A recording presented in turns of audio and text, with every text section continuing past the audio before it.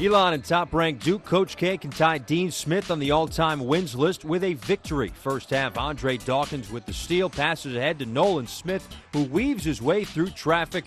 He had 22 points, and the Dukies have an early four-point lead. Later in the first half, Kyle Singler with a deep three.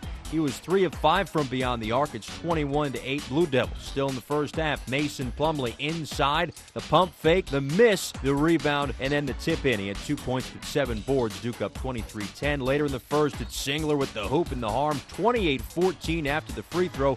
And then second half, more the same from the Blue Devils. Singler had 24 points.